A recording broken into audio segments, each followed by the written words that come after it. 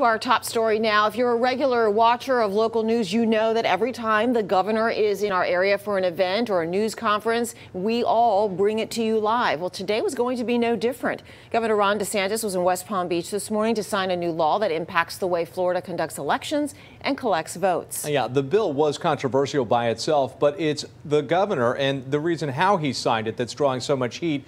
It was an invitation only event broadcast exclusively on Fox News Channel. That is drawing even more criticism. CBS 12's Danielle Waugh was one of the reporters who was actually barred from attending the bill signing event. She begins our team coverage tonight in West Palm Beach with what happened. Well, this morning, CBS 12 news crews were here outside of this airport Hilton waiting for what we thought would be a regular bill signing for one of the governor's top legislative priorities. But at the last minute, we were told that we were not welcome. We were not allowed inside with or without our cameras. The governor's staff said this piece of state business was not open to the public or the media. I'm actually going to sign it right here. It's going to take effect. So there you go. Bill is signed. A bill Governor Ron DeSantis called a top priority is now law, affecting every eligible Florida voter. Florida, your vote counts. Your vote right. is going to be cast with integrity and transparency.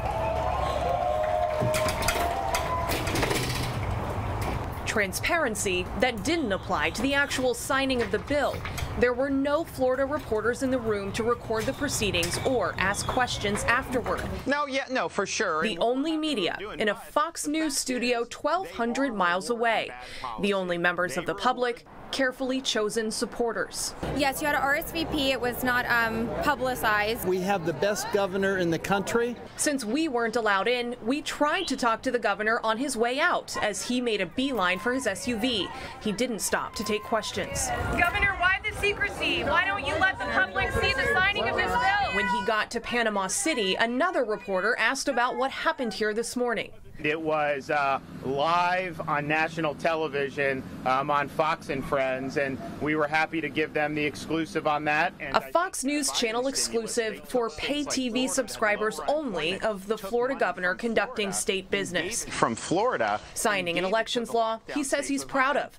Charlie Crist, the first Democrat to formally challenge DeSantis in the governor's race, slammed the move on Twitter, saying he locks out the public and caters to Fox News. State Senator Tina Polsky called it shocking. The fact that you aren't even allowed in is, is truly terrifying to me. It's very authoritarian. And it's like we're creating a state news network. But Republican supporters like State Senator Gayle Harrell, who stood behind the governor during the pay TV event, didn't see any problem with it. Well, I think that's the governor's option. And the bill is signed, and the fact that you're here and that you know that it's signed, and people know that it's signed now, to me is the important thing.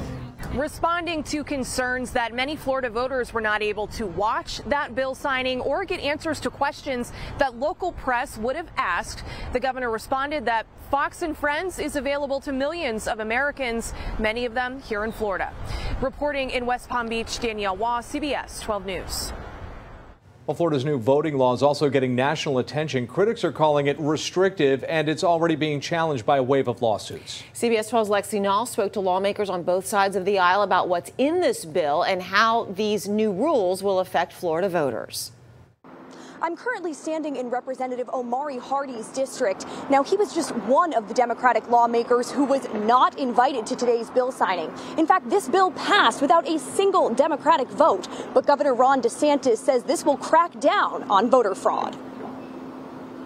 Governor DeSantis is among the first to praise Florida's smooth and fair 2020 elections, but he made no secret of the fact the bill he signed into law today was a personal priority, one he says will prevent voter fraud and keep our state ahead of the curve. Uh, we're going to make sure our elections are transparent um, and they're not being funded by special interests. Uh, we're also going to continue with voter ID, which is very, very important to make sure that you are who you say you are. Um, and we're also going to make sure that we don't have ballot harvesting. Just Just minutes after the signing ceremony, the NAACP and the League of Women Voters sued, claiming the legislation disenfranchises voters who cast their ballots by mail.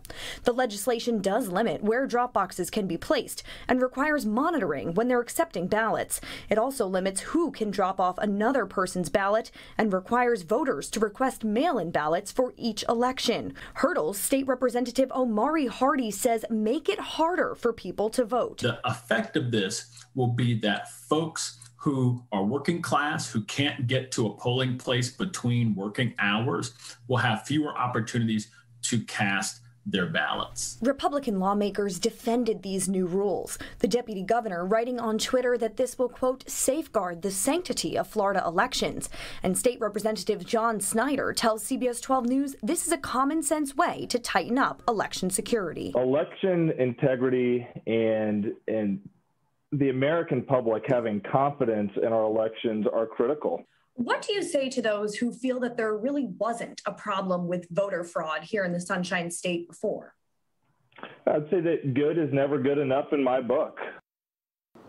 A record 4.9 million Floridians voted by mail last year, and the majority of those ballots were cast by Democrats. For now, reporting in West Palm Beach, I'm Lexi Nall, CBS 12 News.